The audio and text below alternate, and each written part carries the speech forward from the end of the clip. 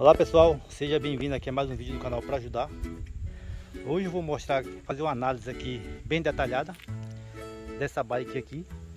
Essa bike aqui apresentando para vocês é uma Caloi modelo Max Front.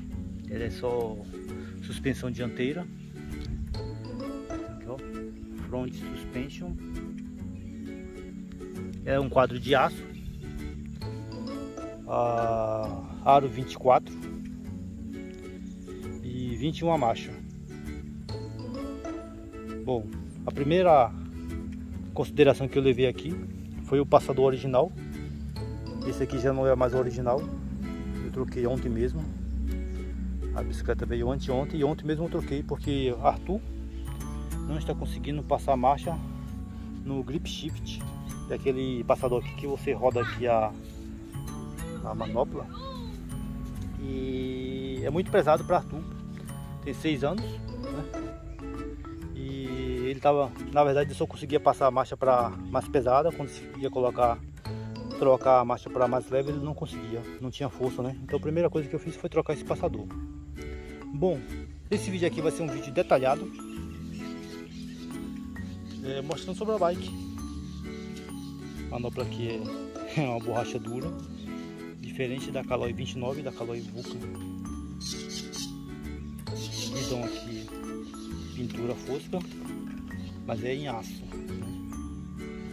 Aqui temos a mesa de direção, que para minha surpresa, né, é uma mesa de alumínio. Né?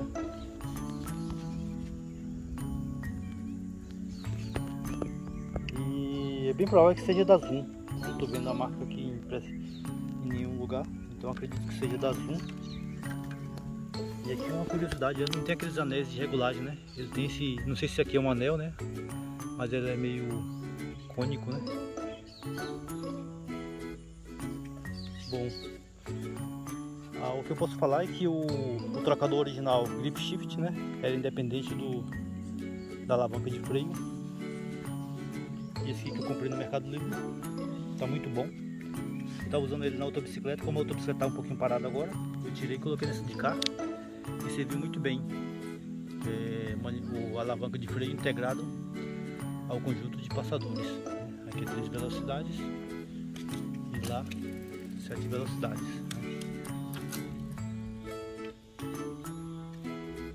Aqui é a mesma coisa. Bom, descendo aqui agora, vou mostrar aqui o, o quadro rapidamente aqui qualidade de soldagem.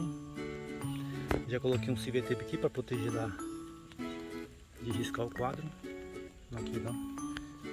É, os cabos de aço. Freio traseiro, catraca e a coroa, né? A faixa da coroa. É curioso esse desenho aqui, né? Ela é cortada aqui no meio Acho que esse modelo aqui era o modelo Full Suspension e a Caloi aproveitou o projeto da bicicleta e fez esse de cá, adaptando esse ferro aqui. Né?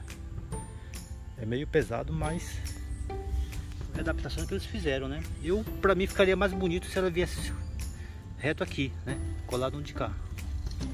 Aqui, como vocês podem ver, vem uma tampinha aqui para não deixar entrar água no quadro, né? E aqui dá pra ver a qualidade da solda.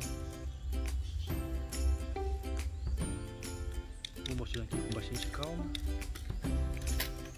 Bom, aqui é, é direção, caixa de direção esferado. Então quando você vai apertar aqui o para puxar o garfo, né? Você não pode colocar muita força senão a direção trava. Você tem que regular com bastante calma. Aqui amortecedor da Zoom, né? Acho que um curso aqui de 30 milímetros ou 40, né? É bem pouco a suspensão dela e é bastante duro. Até para tu que tem 25 kg, eu acho, né? é, quase não amortece. Aqui é parafuso, né? Não é aquele quick release, cubo de aço, raio Bem provável que seja zincado, né? Mas está parecendo até inox, mas eu acredito que não seja inox não. Né? o zincado da Vulca não, ele brilha bem mais, né? E aqui a roda, sem nenhuma marca impressa. Nem a Caloi botou adesivo nela da Caloi, né? É bem provável que seja da Vezan. Não tenho certeza não. O pneu aqui é o mesmo pneu da Caloi Vulcan e o mesmo pneu da Caloi 29, que é a V-Ruber. O tamanho desse pneu, do, do pneu aqui, não sei se dá pra ver, é 24 por 2.0. É até que grosso, né, para uma bicicleta de aro 16 ou 26, né? 26 não, 24. E o legal é que esse garfo aqui, ele tem esse aqui, ó. Aqueles dois suportezinho ali, já pronto para receber um freio a disco. Mas freio a disco a cabo, por experiência, é bem mais eficiente do que freio a disco V-brake. Esse sistema de freio aqui que usa essas borrachinhas aqui, né?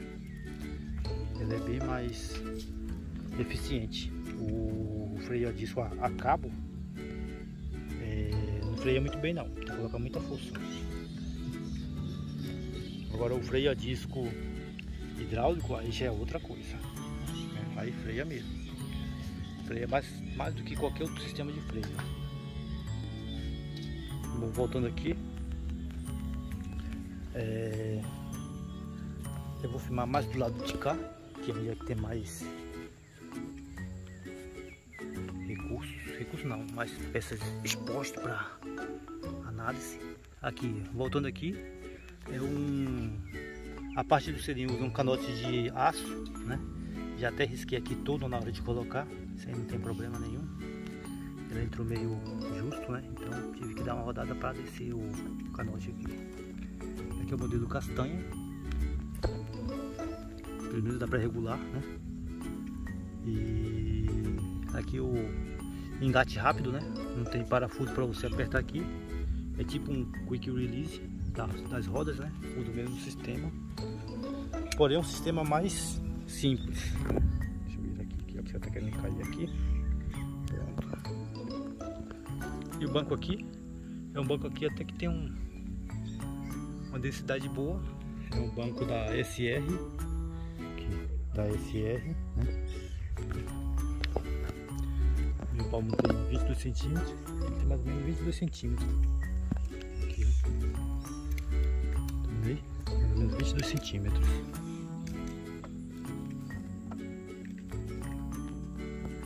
Bom, aqui é o, o câmbio dianteiro. Bem simplesinho. Nem sei porque a Caloi não colocou a logomarca dela aqui.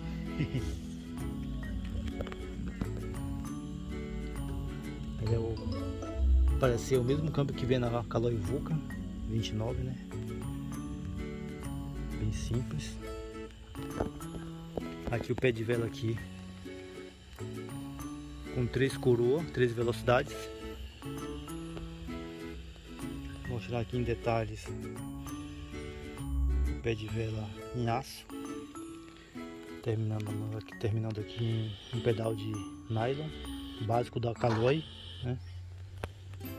Bom, vamos dar continuidade aqui.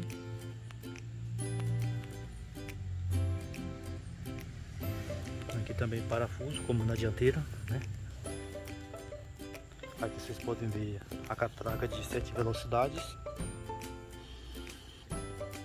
Vou botar fazer aqui para vocês verem. Esse aqui é bem fino, né? Mas como ele é de aço, né? Ele é bem forte. De alumínio já é bem mais grosso e aqui o cubo de aço, ok? A roda aqui é igualzinha, né? Roda dianteira, eu acredito que seja da Visão.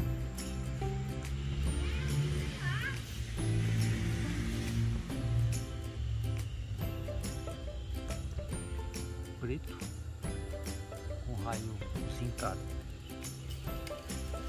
Chegando aqui no câmbio traseiro.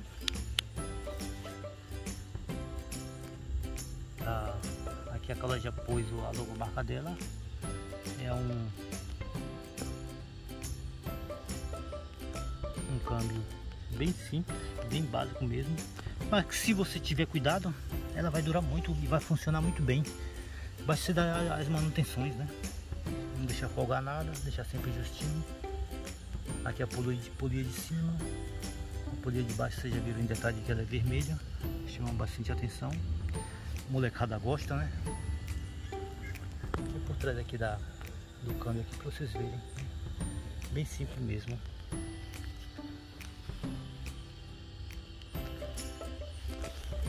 A gancheira aqui é fixa. Né?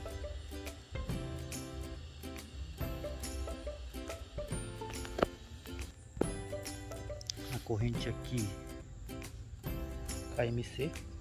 Tem que dar uma lubrificada nela aqui que a gente acabou de lavar a bicicleta.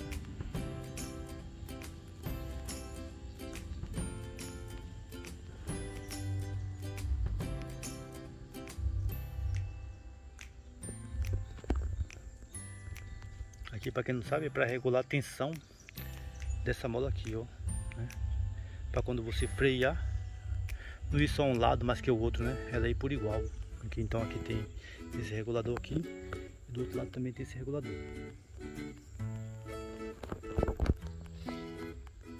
Bom, acho que já mostrei a bicicleta aqui por completo.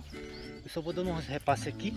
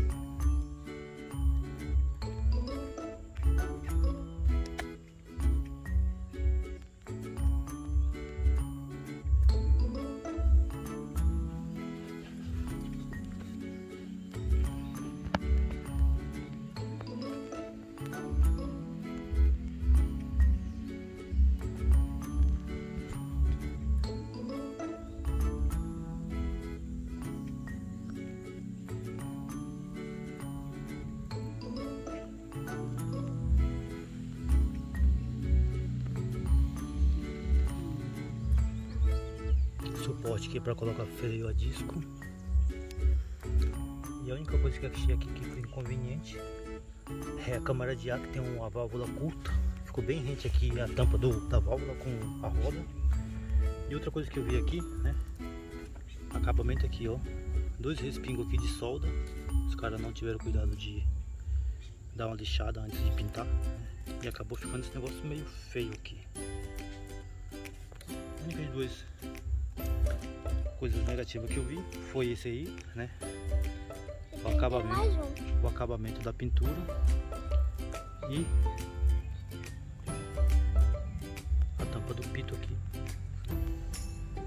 que é inapropriado para esse tipo de roda. É uma roda aero, parede dupla, provavelmente da visão. Ok? Então é isso aí, pessoal. Essa foi toda a bike aí. Espero que você tenha gostado do vídeo. Se gostou, deixa seu like aí. Esse aí é o proprietário da bike, a bicicleta é dele, né? Ele vai dar uma voltinha aí para vocês verem como é que vai ficar em uma criança de 6 anos. Exatamente 6 anos, porque ele fez 6 anos no mês passado, né? Então, quem estava em dúvida quanto à idade para andar de bicicleta aí, 6 anos. É. chega 1,20m não. Vai, Arthur. Aí, né? Aí, 6 anos aí, pessoal, ó. Consegue trocar de marcha, ó. Troca de marcha aí, Arthur. Troca de marcha aí.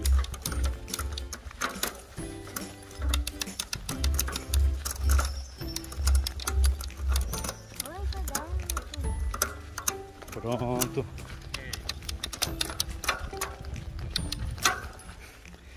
Tá bom.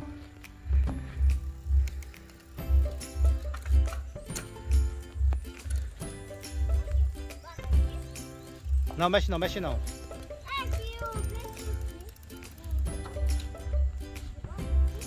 Aí você não consegue. O que, é que você achou da bike, Arthur? Que nota você dá de 0 a 10?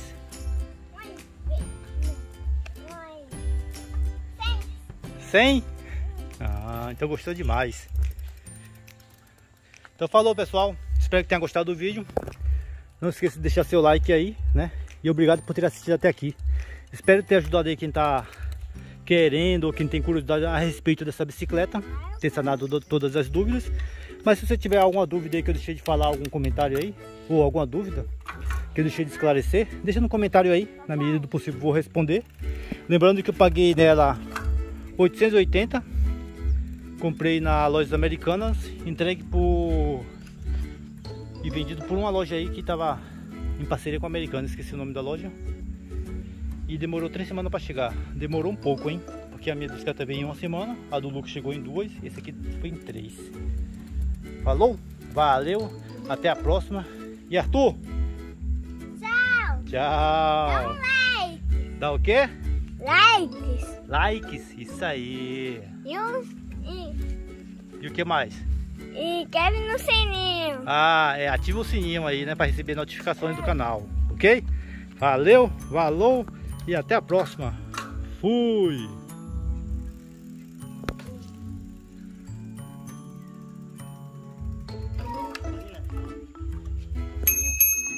Aê!